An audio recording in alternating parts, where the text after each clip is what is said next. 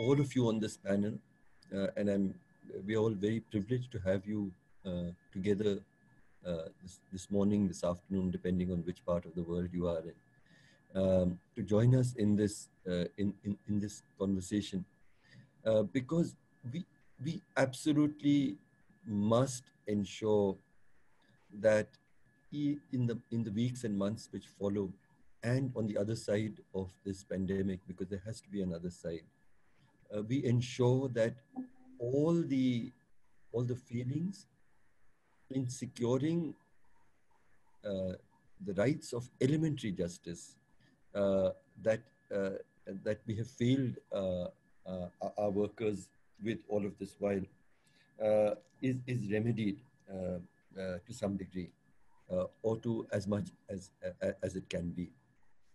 So we'll we'll go through a, a round of of conversations. Uh, as I said, this is you know, the finest group that one could gather. You bring various kinds of experiences uh, uh, and reflections and years and years and years of work. Um, and we want to hear from you. And I thought that before, before we look at the present, we do need to look at the past.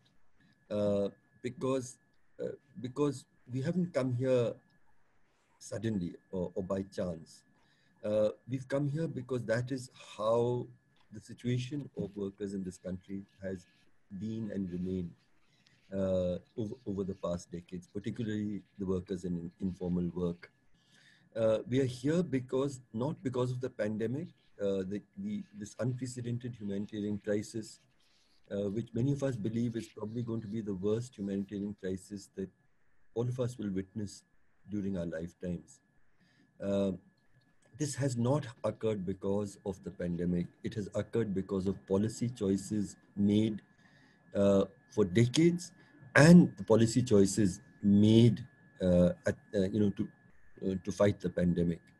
So I wanted us to you know uh, to really step step back and say what what what are you know, in your opinion what is it that has you know resulted in this profound uh, failure uh, to be able to provide any kind of protection and rights uh, to our workers when they most needed it. Um, and and you know one of the things that I in fact I was I've been talking with some friends uh, on this panel itself like Ravi and Kanan who couldn't join us. You know, uh, uh, Prabhat Patnaik, Jayati, Ghosh, and I we put out uh, a couple of articles uh, where uh, where we said that the most the first thing that we have to do is to ensure uh, just like the middle class is assured uh, wages through every day of the uh, of the pandemic uh, because they're forced to stay at home. Likewise every single worker should be given 7000 rupees per household and a certain amount of grain but you know the uh, even if the government, and it's a very, very big if, if the government had even agreed to that, uh, to that, uh, to that suggestion, in rural India, we at least have some kind of a framework. We do have the, thanks to the NREGA, we have, uh, uh, you know, job cards, we have pensioners, we have people with bank accounts. So if the government had resolved, it could have transferred these resources. But in urban India, actually, even if it had resolved to do it, how would it do it? It doesn't have a list, uh, you know, even a list of who the informal workers are. They're not registered with the government because they have never extended any kind of labor protection to them and they've never intended to. And, and, and, and only 17% of, of workers in the informal sector have an identifiable employer. So what happens to the rest?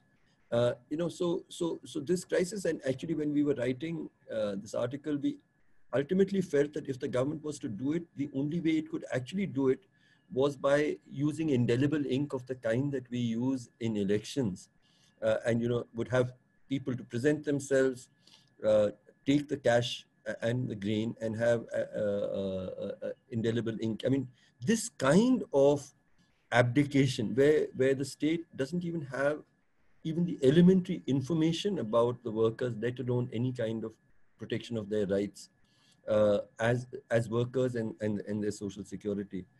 What has brought us to this pass? We have many laws. We have the Interstate Migrant Workers Act. We have the Contract Workers Act. We have various other uh, other laws. We have the Building and Construction Workers uh, Acts, etc. Uh, you know, the quick surveys that we have done found that most workers are not even, even if you are construction workers, you're not registered. So, so I wanted you to, you know, wanted us to, uh, wanted to ask each of the panelists, where is it that we have gone so wrong? Uh, is it in the design of our, of our legal framework of rights? Uh, is it in the implementation? Uh, is it in state bias uh, of the ruling class? Uh, where have we gone wrong? Is, is what gone so terribly wrong? Uh, is, is the question uh, that I that I wanted to raise before all of you. And uh, Jan Breman, who's who we are particularly privileged to have on this panel, he's done more work than the lifetimes of many of the people who will be listening to him uh, on uh, on the conditions of, of workers uh, in India. so, Jon, how would you? Where have we gone wrong? Thanks, uh, Harsh, and uh, it's nice to see many familiar faces uh, to discuss these issues. Um, but before going into the question of where have we gone wrong, and it's not over the last couple of years that that question is addressed. I first want to put forward the magnitude of the people we are talking about at vulnerability. Um, and even that question, an elementary question, how many of the people are not only uh, threatened by the uh, pandemic, but threatened, threatened already uh, uh, for many years in their uh, in their way of life, in their human quality. what is the magnitude we are talking about? And even that simple question, that elementary question, is not known.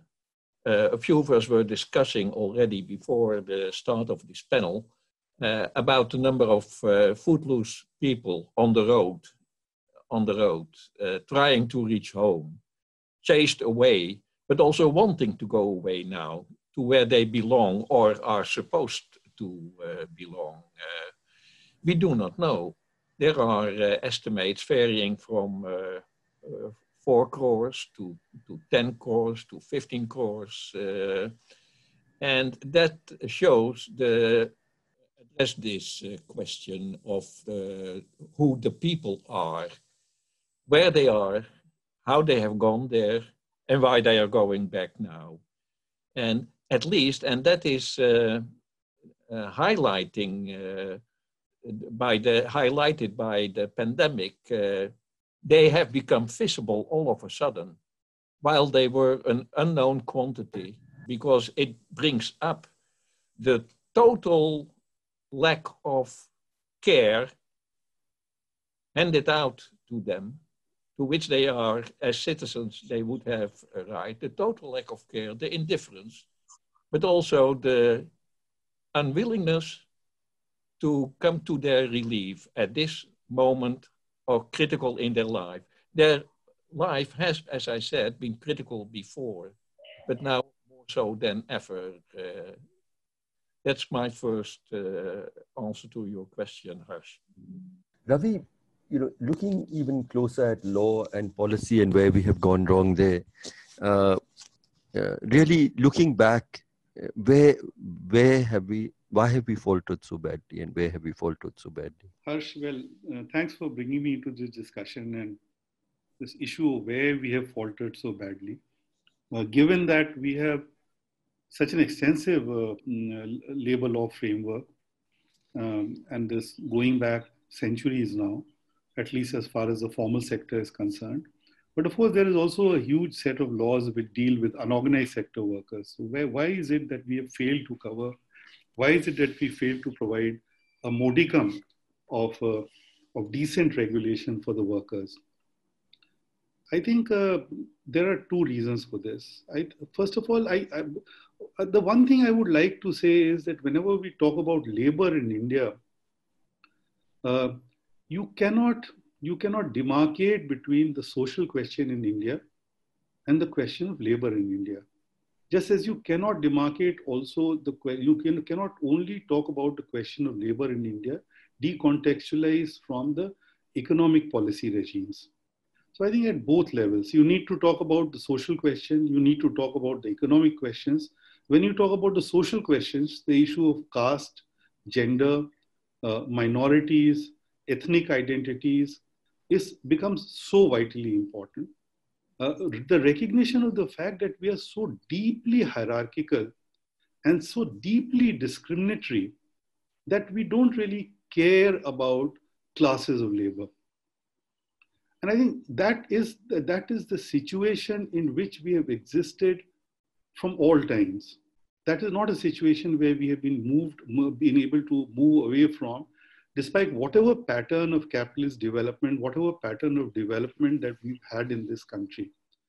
So the, the, the, the fact that we are able to treat, treat all kinds of dignity, indignities of labor, that we do not actually imbue labor with human dignity. We don't in, in, in, imbue physical labor with any kind of human dignity at all. And of course, if it is dirty labor, if it is polluting labor, then of course it is the most indignified form of labor. So that that I, I think that the, the, we we in India and labor policy is only a part of how we socially structure ourselves. We are used to dealing with invisibilized labor at the bottom of the pyramid. We have never really created institutions. We are a great country. Uh, Harsh, irrespective of the conundrum that you faced in terms of how do we, you know, how do we give handouts to workers, I believe that the Indian state is an amazing state because it can deliver under most complex situations.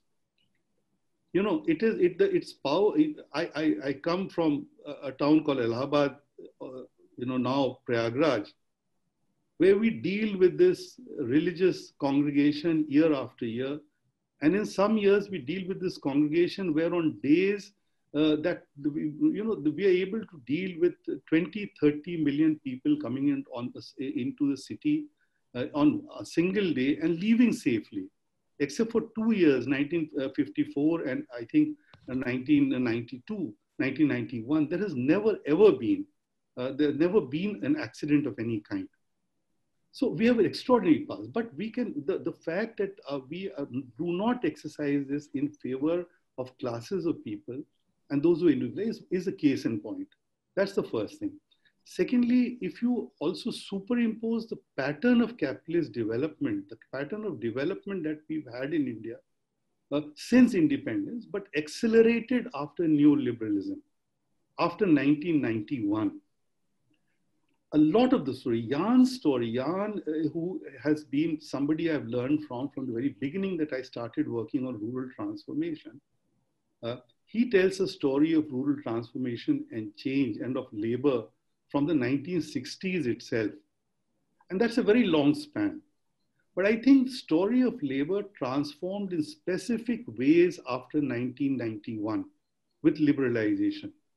And we do need to understand that the Indian state started liberalizing a phase of liberalizing labor laws more de facto than de jure, dealing with the states rather than the center and the net result of that is that labor, labor markets informalize.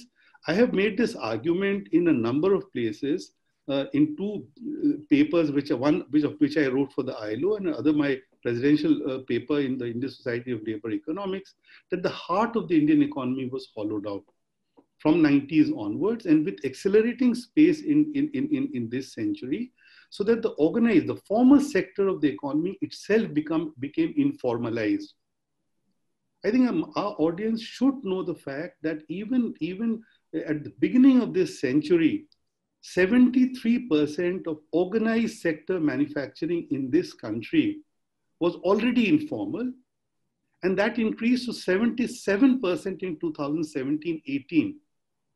The organized service sector which was technically the most formal part of the economy, was 33% informal in 2004-5 and became 52% informal in 2017-18. if you look at the growth of over the last 15 20 years we had a declining agricultural employment but this was matched by very slow great rate of growth of formal employment basically it was informal employment which which has grown in this country and it grew under the uh, in, in the within the rubric of the labor laws that we have the labor laws did not afford any protection to any section of labor either within the formal sector of the economy or within the informal sector of the economy. And this happened much before the nature of the state. We, we still have a neoliberal state under this government, but the nature of the state has, of course, changed very much. We have a much harder state, a state which believes that that not, not does believes that the, the courts will do its bidding, that it does not need to worry about laws it can put anything on the statute books, or even if it doesn't put anything on the statute book. Uh, and that is, that is the condition that we see with the labor codes. I guess we should talk about it more later on. But that's also we see with the latest changes that have been made at the state level in labor laws. So you are absolutely right. The changes started occurring much earlier. We did not have a modicum of regulation for unorganized sector workers. But over the last 20 to 30 years, it is the organized sector of the economy which has become informalized. And finally, I just want to make the point, which I think all of us realize. Jan has said this repeatedly over the last 30 years. I have said this over the last 20 years. Informality and migration and circular migration in India have gone hand in hand. The growth into informality in India is due to the growth of circular migration in India both short-term and long-term circular migration. The bulk of the bulk of informal labor in India are today migrants. They are circular migrants, either short-term migrants or long-term migrants. Circularity and informality have gone hand in hand, and they coexist with discrimination in labor market segmentation.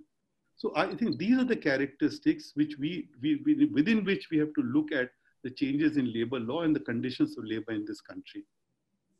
Thank you, Ravi. I, I, I think that, you know, uh, you made many, many valuable points as always. Uh, but, but one that I, to, I mean, one I especially agree with is that the Indian state does not lack capacity. Uh, it's not a state without capacity because what it chooses to do, it does very, very, very well. I've been part of the IAS. I know how much of, uh, of competence and caliber there is when they set out to do something. And, and, and so uh, uh, the denial, uh, the systematic, comprehensive denial of rights to workers in the informal sector is not a failure of the state. It is, it is part of what the state consciously wants to do and does not want to do. So, so I think that's a very, very valuable point. Also, how how much of this is intrinsic to the nature of uh, uh, uh, neoliberal capitalism, and and that growth has always been accompanied by more and more informalization and informalization has been linked more and more with short and long term circular migration. I think these are all really valuable uh, insights that you have offered us. Uh, I, uh, I, I i move now to uh, to renana. Uh, renana I, uh, I, I don't see you i hope you're still here.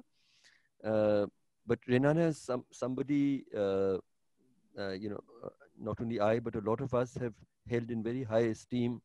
SEWA is, is, is, is a formidable organization which has worked with uh, very, very large numbers of, uh, of, uh, of women workers in organizing them. And with years and years of your experience, again, the same question, why has the state so profoundly and comprehensively failed its uh, informal workforce, and particularly women. Thank you, Harsh, for inviting me to this uh, webinar. And this is something that one feels very strongly about, and especially now uh, looking at how the callousness with which uh, workers are being dealt and um, how the new labor laws, I know we're going to talk about that, but the new, the intent of the government and the employers is to to put all the revive, uh, anything that is to revive has to be on the backs of the workers, making them even more miserable than they are now. But we'll come back to that. Um, anyway, my point was one feels very strongly about this. Um, I don't want to repeat what Ravi has said, uh, but I just say that uh, over the years, one has seen the real informalization uh, of workers. Of course, there was always a very big informal workforce, but um, it has become even more informal. And the mechanism uh, has been through contractors and casualization. And um, this whole contractor way of working, um, or this casual way of working, is the way of working where you don't recognize the worker at all. And so identifying the worker, who he or she is, uh, where does she live, what is a phone number, what is a bank account, none of that is important. So it's just a mass of, um, as far as the employers are concerned, it's just a mass of unidentified labor. And uh, that is the problem that, of course, now has come up because they're all unidentified. I'd like to give one or two um, specific issues. Uh, first is um, what we have been working, which are which is especially a women's area, which is the home-based workers, women who work from their homes, um, making things on the piece rate for often very large employers, often even multinationals, but through a whole list of, uh, a whole uh, chain of contractors.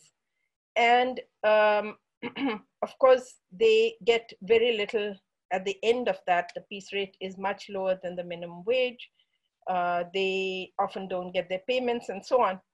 And we had this long discussion with very large employers and with the contractors that at least let's recognize these workers. Let's see who they are, what kind of work they're doing, and whether they're even getting whatever piece rate they're entitled to. And in fact, we made a whole manual of that with the employers. And of course, uh, much to our disappointment, but I guess to be expected, nobody took any notice of it because they wanted to keep them unidentified. So this desire to keep them as an unidentified mass, I think that is the basis of what we are seeing today. I want to talk about one more thing which is the bill, you know, we talked about laws. I want to focus in on this Building and Contract Workers Act, uh, at least the Building and Contract Workers Fund. Now, there are these huge funds. I, to this day, have not been able to understand why these huge funds, um, 1,000 crores, I think over 1,000 crores, 1,200 crores in Delhi alone, uh, another 1,000 crores in Gujarat, similarly MP, similarly in many, many of the states uh, 800 crores I know in, in Punjab. The money is just lying there. They spend 10% of the money. Why? Because they do not want to identify the construction labor. Had they today identified the full mass of construction labor, which could easily have been done, uh, the cash transfers to them would have been very easy. And construction workers are one of the main uh, migrants who are walking home because the, the money is there, the money is supposed to be for them. It cannot be spent on anything else, but you don't identify them, you don't give it to them. Um, and, and a third group, which we haven't been talking about, is what is called the self-employed. And these are very much part of the informal sector. Uh, they are both in the rural and urban, uh, uh, in rural and urban areas. They um, are often do part of ancillary industry, so they're dependent on industry. Uh, sometimes they're independent like street vendors. And again, a totally unlike, unlike MSMEs, which are identified, these very small micro enterprises or survivalist self-employed are again unidentified. So this whole issue of identity, I think comes up again and again. And finally, I'd like to say that um, if we had had the system of proper cash transfers, we could have, of course, uh, depending on the intent of the government, but the method of um, of of uh, supporting this very large labor, even if it isn't identified by labor, if it was just if we had a sort of basic income for the lowest 60%, we could have today really saved this huge migration. But I think it started off well, Jandhan accounts uh, were made, and after that, the whole idea of cash transfers was forgotten. So I think the two ways, the identification and the cash, the possibility of a some form of basic income. If either of those were in place, or if both of those were in place, then um, we could have avoided this huge uh, tragedy that is happening today. You know, once again, uh, uh, you have underlined that the fact that we don't have a record of of the workers is because we've chosen not to have a record of the workers because the employers in in in you know uh, in in close uh, uh, cohorts with with, with, with the state have have deliberately not wanted a record of of the workers because it would have created responsibilities uh, for the rights of those workers then that would ensue from their registration and i think that that is is is a really important and powerful point. point and when we look look to the future uh, how do we ensure that in future uh, this invisible mass of, of of workers who are available like a tap when you want them you put it on and when you don't want them you just switch it off and you don't have any further responsibility towards them. How can that change uh, in the reality of workers i think is really important. You also talked about cash transfers and if uh, you believe that if cash transfers had already uh, there would have been a system of cash transfers uh, there would have been at least a, a vehicle uh, to reach the workers in their time of greatest distress. I come now to uh, to Atul uh, uh, again, a very dear friend like everyone else on this panel, but much more than that, somebody who's who's devoted himself to think about these issues, and and I'm sure he would also talk about the relationship. I mean, some of you know the reasons for these failures being located in the nature of the economic system that we, we run and the nature of our state. Uh, but but over to you, Atul, please. Thank you, Harsh, uh, for uh, asking me to join this uh, important conversation. Uh, and I will also like to add that mm, I agree with the way you framed the issue, and as well as my co-panelists who have given a given their ideas about how to look at the current issue. may I suggest that when we the key question that you've been asking, Harsh, is where has the Indian state failed? I would just like to also add a sub question to it where have we failed? Mm. In the sense that uh, uh, it's not only that the state has failed, but in terms of the way we were conceptualizing uh, the state itself, and the point that you know Professor Breman and Ravi has underlined, that the state itself has gone through a transformation. Uh, and if we acknowledge the fact that the state itself has gone uh, through a transformation, then our engagement with the state on the question of labor also needs to be modified in the light of that. Uh, and and I, I think, as you said, it's a somber movement moment, and we, it's time also for us to maybe step back a little and see, you know, how we have been engaging with the state, uh, and, uh, and and should we be uh, reconsidering considering some of the aspects of how we have been uh, engaging with it. May I suggest that in many ways, it would not be inappropriate to argue that the typically, you know, sort of defined this phase of Indian state as a developmentally state has come to an end. I mean, you know, we, we, we all acknowledge what had happened in 91 and so on and so forth. But clearly, Indian state has recrafted and reconstructed itself in a manner where it wants to, I mean, and you know, the title of today's conversation was before COVID, during COVID, and post COVID. And I think there is a strong element of connect between how the Indian state has been looking at the question of labor on all these three fronts, fronts that is pre-COVID, during COVID, and post-COVID. And the state has been very consistent in how it is looking at the question of labor and labor in general. in the imagining of the so-called lockdown, without going into the question of whether lockdown was essential or not, or and so on and so forth. I think in that imagining of lockdown, there was no imagining of labor. Uh, you know, it was it was an imagining only about uh, you know people who are I mean like us uh, who had possibilities of this physical distance and so on and so forth. I mean everyone understands that context here. So the, this absence of imagining at the time of the lockdown continues even now.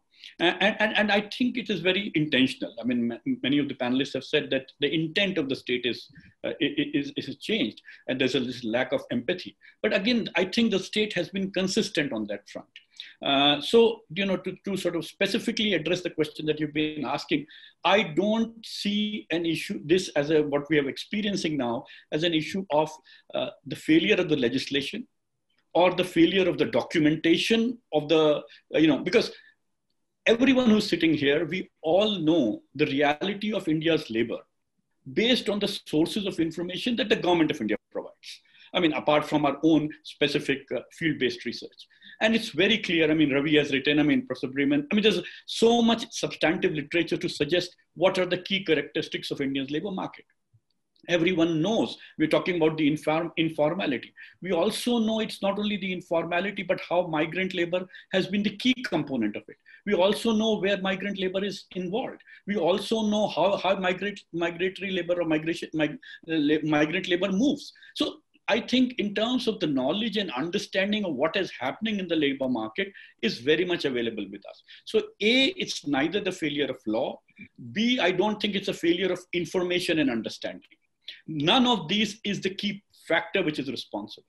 And if I may add for extending from the conversation we just had, I also don't see so much an issue of record and documentation. In fact, the state, Indian state is actually as, at, the, at the moment busy in destroying the documentation and evidence it has. In a sense that in sectors of uh, labor market where it has record, it wants to, that does not want to maintain record. It does not want to keep the, keep the record. So clearly the state is not interested. I think the key question would be for us to ask is why, how does the state manage to get away with what uh, you know what is happening currently i mean the the humongous human tragedy that this country is facing how is it possible that the indian state in these times is able to implement its agenda of actually deregulating capital it has success, successfully uh, you know, re-regulated labor. It has worked and crafted the labor as it wanted. And now it's also crafting, the, making changes because if you look at the announcements made in the past five days, clearly the emphasis is to deal with substantive reform whatever you want to call it reform 2.0 reform 4, 4.0 whatever is the fashionable expression but essence the emphasis is in terms of what it wanted to do before so the state is busy doing the same now, the question, as I'm suggesting, is should we be doing the same? And my humble submission is that perhaps not.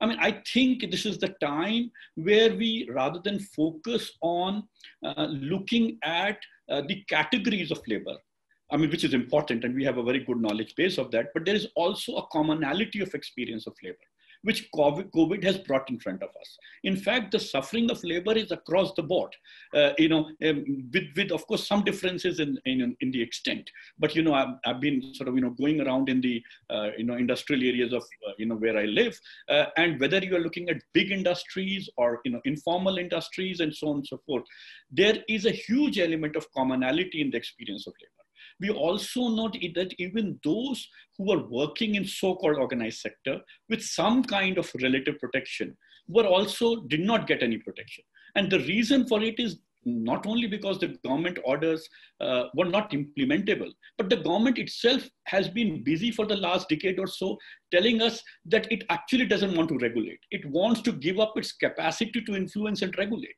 it wants to actually give it to the uh, employer and the, you know, and the factory owner. So the state has been busy diluting its capacity. So suddenly, at a point when we have the crisis of this mammoth proportion, uh, I mean, where is the state's capacity going to come back to regulate?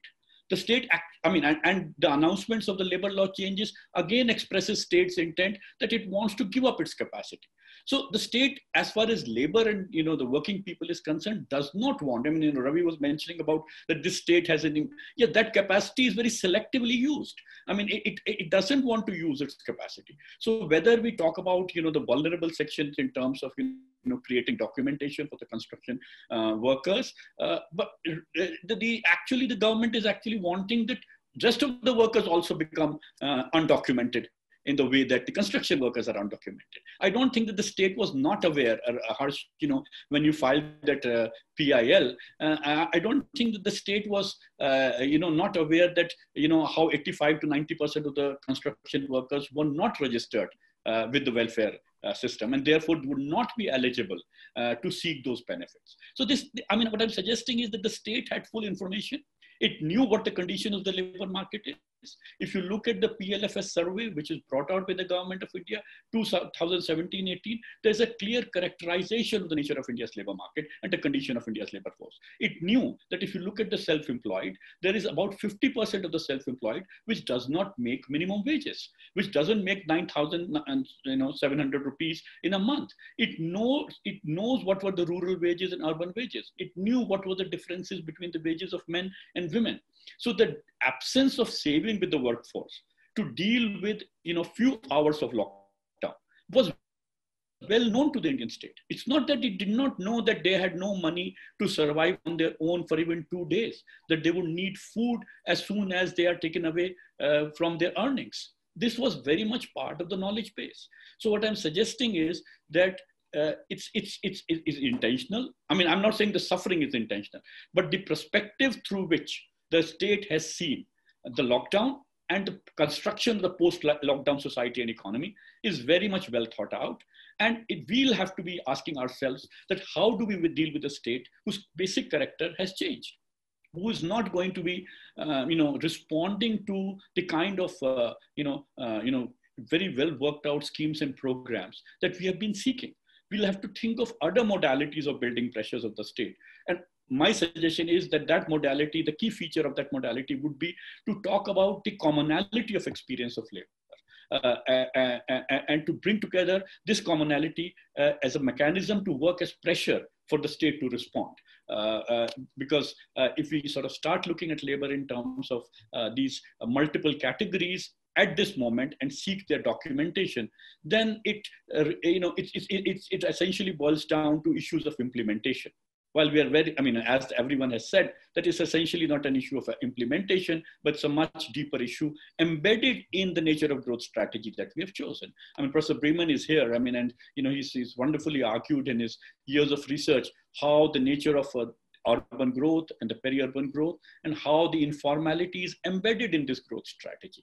So the informality, vulnerability and precarity is embedded in the growth options we have chosen. And our expectation that the state will now be suddenly becoming empathetic and respond to this humongous human crisis I don't think we'll, uh, we'll, we'll, we will get the kind of response we are expecting unless we think of other ways of bringing this commonality of experience of labor. So Atul, I, I think that you know, once again, uh, you've underlined what what all of us are saying uh, in one way or the other. It is not a failure of legislation. It's not a failure of understanding and information. It's not even, you say, uh, a failure of documentation. Uh, it's it's it's intrinsic to the character uh, of the state, uh, and and and and also you raised the question somewhere: how and why have we allowed the state to get away with this? Um, it's a you know you know this this way i thought we would spend a lot of time in this uh, in this section of the conversation looking at specific laws and you know what what was wrong with the interstate migrant workers act what was wrong with this other act. But i think all of you are, are, are, are saying very very clearly that it's not the letter of of the legislation which is which is at fault. It is the character of the state and the character of the of, of the ruling class and uh, you know you, you, one has to see like the state to be able to understand why we are in this situation today. Uh, and that's that's that's a really worrying observation. Uh, you know how do we go from here is something that we'll talk at the latter part of today's discussion. Uh, I, I, I, bring in here Priyanka Jain, who works with Aajeevika uh, Bureau, uh, which has done a huge amount of really, really valuable both work, direct work on the ground Uh, with uh, workers, uh, informal workers, and large uh, and substantially circular migrants, but also very, very, you know, front end kind of research. So Priyanka, how would you respond to the question, where have we gone wrong? I do agree uh, about you know the point about commonality of labor, but because this pandemic sort of also catapulted into imagination the particular kind of situation, location of migrant workers, um, I'd like to sort of like um, delve into that a little bit more. What we saw during the pandemic, you know, was a complete criminalization of their existence overall. So you, as a migrant worker, you can't be out on the streets of a city to buy your ration, to even protest, you will be lathi charged. You can't be walking on the highway, the police will stop you. You can't even go further from the state borders of your home state. The police will stop you there as well and send you back. If you do manage to reach your village somehow, there are you know, state officials standing there to beat you up as well, uh, unless you kind of go through the forests. This kind of suspension, complete statelessness, um, is not like you were saying it's not it's not an anomaly it's not something that has come out of nowhere it has a fairly uh, it has a very strong connection with a kind of deeper neurosis that sort of exists. And the genesis of this um, you know as i think a lot of other people have argued comes from our larger approach in economic planning.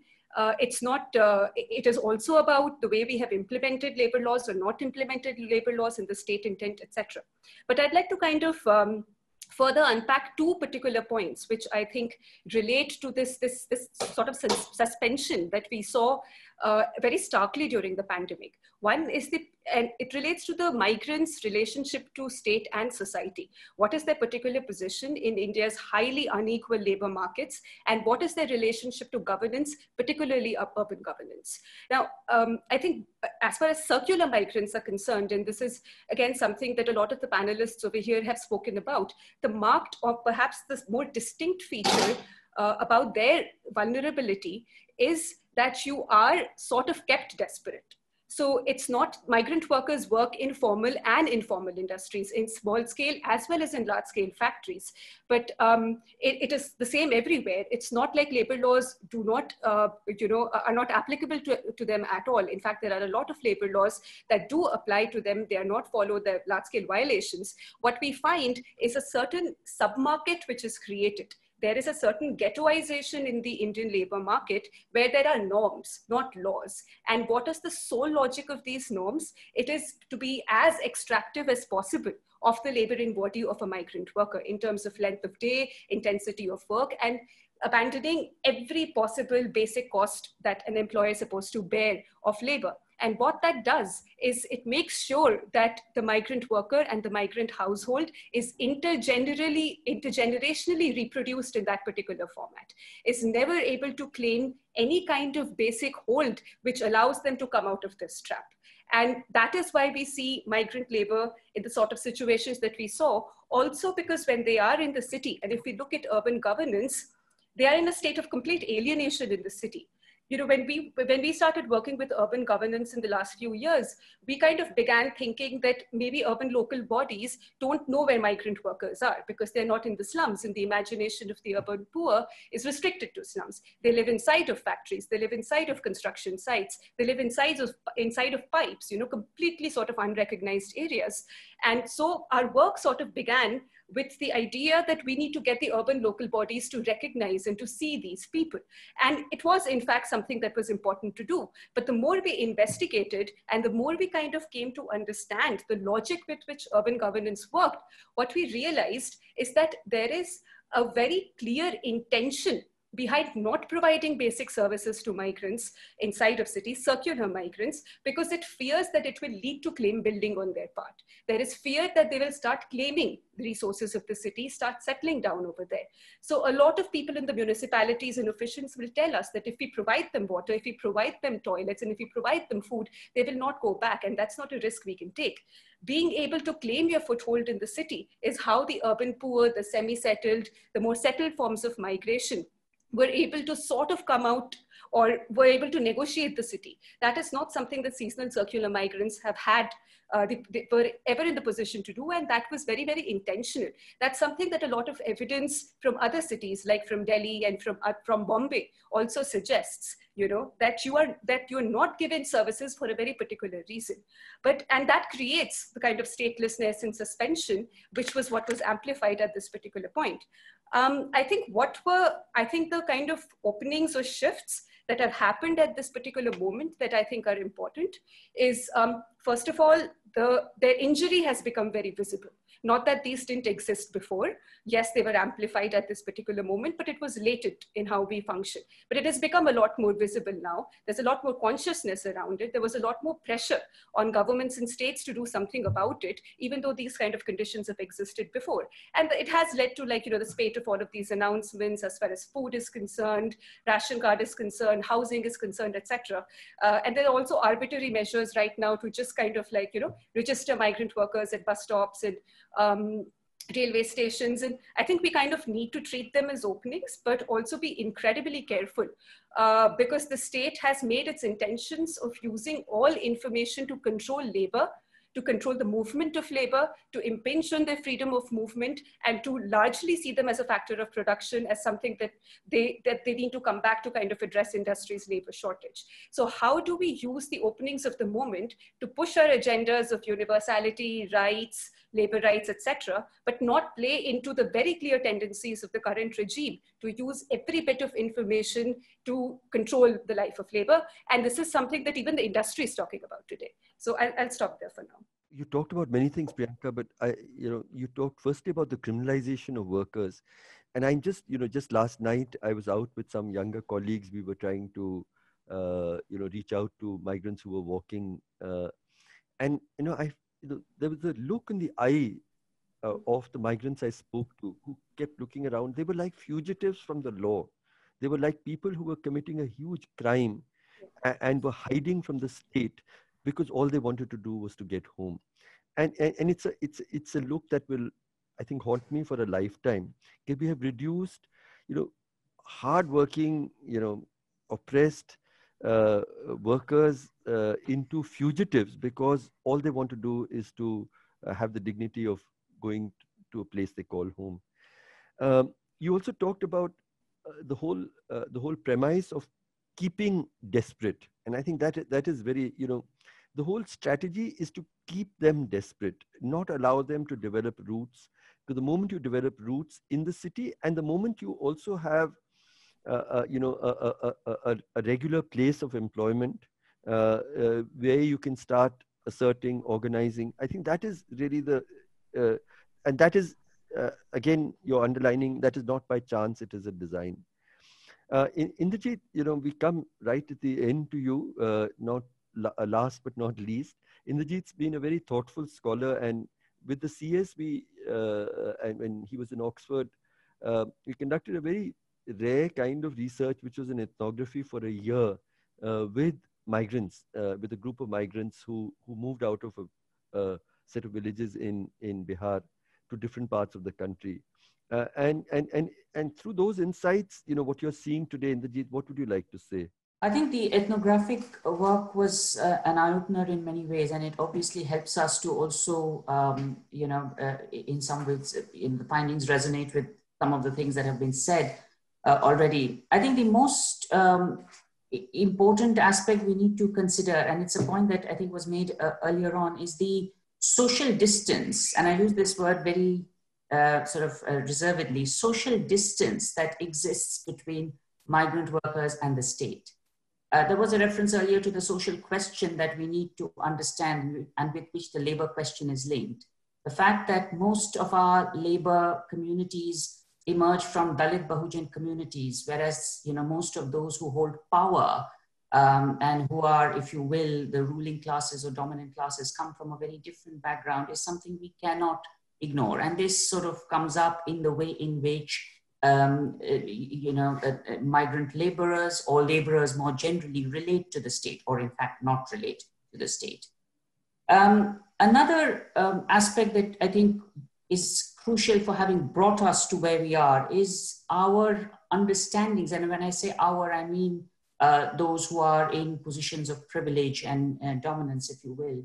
Um, understandings of the nature of labor and the idea that labor is fixed. And of course, we know that you know when it comes to uh, thinking about labor in this country, um, labor is not fixed. It's it's a hugely mobile uh, population. But the, the, the disjuncture that we see is a recognition that labor is not fixed doesn't necessarily come with the recognition that the social protections, the social rights that uh, you know what, that should be made available cannot therefore be fixed. Our procedures of accessing social rights tend to be based on an imagination that labor will remain or is in one place whereas as you as we know in fact that's not the case so if i think one had thought about portability of social rights um, the uh, you know what uh, we have heard in the last few days in terms of uh, one nation one ration i think that sort of those sorts of ideas um, I think it's just too little too late. You know, portable social rights would have perhaps been one way of addressing uh, the very, very pressing uh, uh sort of, uh, you know, concerns that uh, labor has. I think linked to this is the, is the failure of the Indian state and of the Indian ruling classes to think about labor as citizens. And I think that comes up again and again. We've never really thought about, and the Indian state also has never really thought about labor in terms of citizenship. And I think in some respect, we must also take uh, responsibility for the way we've written about labor. We haven't really, you know, linked questions of labor with questions of citizenship. And I'm thinking here in terms of such basic aspects of citizenship as voting. So in a country where so many millions of people are crisscrossing the country in search of work, voting is an act that is incredibly fixed in place. You can only vote where you are registered. And that, of course, is meaningless for so many people who are uh, moving around town and country in search of work. So for them, voting would mean having to go back home, wherever home would be, uh, for that one day in order to cast their vote. And of course, a lot of migrant workers do that.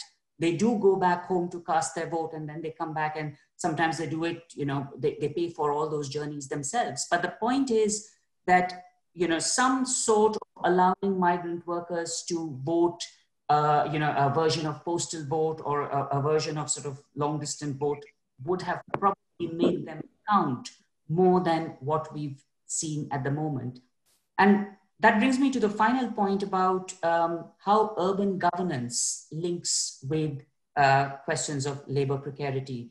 Um, there are absolutely no ways in which uh, labor is represented in the day-to-day urban governance uh, of the cities, of the neighborhoods, of the areas uh, where they live. Um, and that also is, uh, I think, points to our uh, failure in terms of thinking about labor as, as citizens. So I think what I'm what, what I'm what I'm trying to say is that in addition to the actual framework of labor laws, the ideas about labor um, have left a lot to uh, you know uh, have, have, have resulted in you know our our present uh, conundrum. Um, in in the last few months, um, where we would have expected some sort of perhaps solidarity from uh, members of middle classes uh, with, uh, with, with the, with the uh, condition that uh, migrant laborers uh, are facing, what you instead see is the hashtag MeTooMigrant, which in some ways, instead of, a, instead of solidarity with the migrant workers, is a way of appropriating the very real struggles, the very hardships, the kind of pain that migrant workers are going through. And I think that brings me back to the point I started with the social distance between labor and the state, the social distance between labor and those who control the state, I think is what has brought us to the present uh, position. It need not have been like this. There have been critical junctures uh, where we could have taken very different uh, pathways, uh, but that was not something that we did. Thank you very much um, for these very, very, very valuable um, comments, Indrajit. I think what you said about um, the social distance actually, which has appeared uh, between the migrants and the state is such um, a uh, such a profound observation, and this is what we are saying, uh, seeing. Um, I actually wanted to come in and turn our attention to the question of women's labor also uh, at this point. And we are seeing that um, the state um, now believes that economic revival is possible only by further weakening of labor protections. Uh, and many states have um, used ordinances to go down that path within that larger context, the question of gender and labor has also assumed, it assumes a very um, urgent relevance uh, because of the extraordinary uh, ordinary scale of decline in women's employment, which we have seen between 2004-5 to um, 2017-18 and we are seeing um, the impact of shock of uh, contracting um, economy but I'd like to ask you and turn to the question which um, Atul somewhere said that um, in states imagining of the lockdown or responding to the question of um, uh, or dealing with the pandemic, workers were not in that imagining. Um, and I would further add that women workers were completely out of the sight of the state um, they were there were no absolutely no provisions they, uh, for women workers not only for for them to survive or get past the um, lockdown but also in terms of their travel in terms of rebuilding so I'd like to ask you, um, Ravi, you have looked at um, question of gender and labor and also um, the numbers, the declining numbers of women in labor force. How do you see the new regime of uh, labor, uh, which is um, actually where number of labor protections are folding up? Uh, what impact would you think will have on women's labor? How do you interpret it for women? So let me, well, there are two, two separate issues here, and I think it's uh, might be useful to deal with both of them. Mm-hmm. One is to, to talk about the impact of the pandemic itself on, on the working population and on women in general, and then to talk about the changes, you know, and to contextualize the changes in labor law in that in, in, in within that broader framework. So as we know, as far as the pandemic is concerned, and here we are really talking about not the pandemic as such, but the but the the lockdown. Yeah. The lockdown has affected almost the entire, and, and this is this also brings me to Atul's point, the entire universe of informal work, the entire universe. So we are really talking about something like you know 85 to 90 percent of the working class in India, uh, and uh, data also shows that the CMIE's data, which they, have analyzed the consumption data, uh, and we saw a study some three days ago, which shows very clearly that 80% of households have experienced significant declines in consumption. Um, and of course, the, the, have no savings to cope with the crisis and so on. And similarly, obviously, I mean, this decline in consumption is because of lack of income, lack of wages, lack of employment. So it's a very, very severe crisis. Now, this severe crisis, uh, in order to overcome this severe, this, this is not a crisis. I do not believe that this crisis lends itself to what people call a V-shaped recovery. Uh, coming out of a crisis of this kind is going to be extremely protracted. That's number one. Number two, the major problem is going to be the problem of demand. That's because external demand uh, which you know almost 30% of GDP, is going to take extraordinarily long time to revive. So it's a question of basically somehow stimulating and reviving demand. We know what the government of India has done in the last few days. It has announced a stimulus package which is less than 1% of GDP. And it has announced a medium term reform package which basically mostly regurgitates the old reforms, which are already announced from 2016-17 onwards, with some new you know some some new sets of changes which is announced. So there is nothing there is nothing in the in the offing which can help in reviving india's economy in the next 6 months to a year. What it has put in place is a set of the labor law changes as you know, there was a prototype a recommendation made by the central government that states need to respond to attracting and in a time where actually the question is of actually reviving capacities the state wants to attract investments.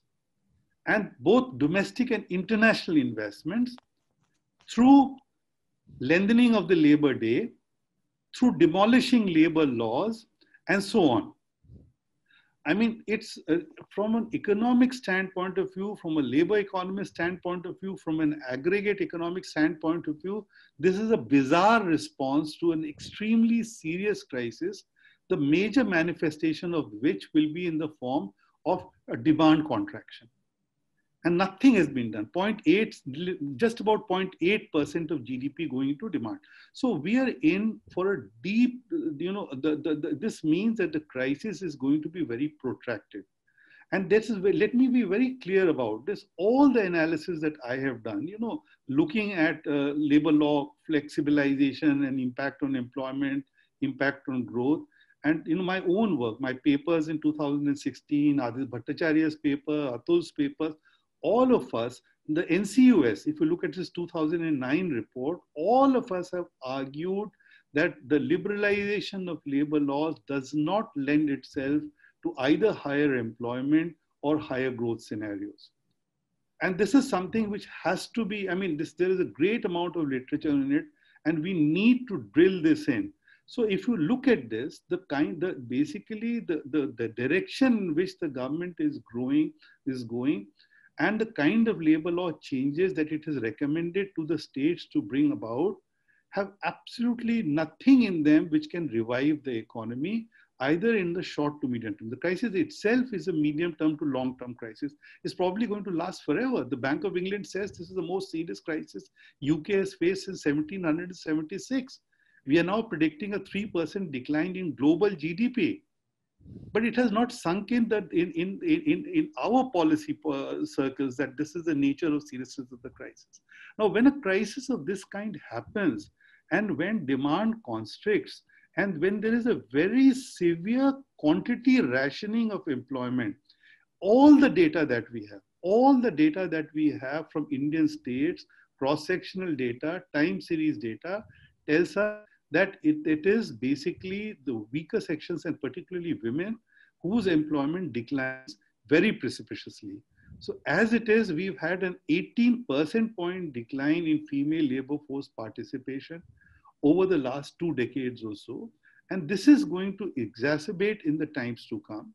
So we are going to see very sharp rising inequalities in, in, in, a, in a period, by the way, where overall labor force part, so this is a different kind of inequality that we're going to see. Uh, till now, male workforce participation rates have been more or less stable. Female workforce participation rates have been declining. In the next two to three years, we are going to see extreme constriction of overall employment. And within that extreme constriction of overall employment, we're going to see very sharp declining rates of workforce participation of women and also a sharper impact on their wages and earnings. And here again, I'm speaking of about the top, the bottom eight to nine deciles of, of women of women in the workforce, not the top 10, uh, the top decile, which is mostly urban and highly educated and highly skilled. Firstly, about what happens to the worker who returns home, uh, in what conditions, uh, and you know I've, I've been reading and, and listening to accounts where actually they have borrowed for the first time from the from the family back home because they were in such a situation of desperation now. And this was the first time they had to and in, in the conditions of penury that that the family was uh, and and and the unpaid debts here and the unpaid debts there uh, and and and your value in terms of being able to support and provide for your family and the fear of the pandemic and and, and all of that uh, in addition i also wanted to briefly draw attention to the people who have not left and who have nowhere to go. And I work uh, a lot of my time with, with homeless uh, people. Uh, and homeless single men, I just about two or three days back, I was sitting in Yamuna Pushta. They again, like fugitives, they ran away from, uh, they were pulled away, they were locked up in, in schools, they said, which were worse than jails.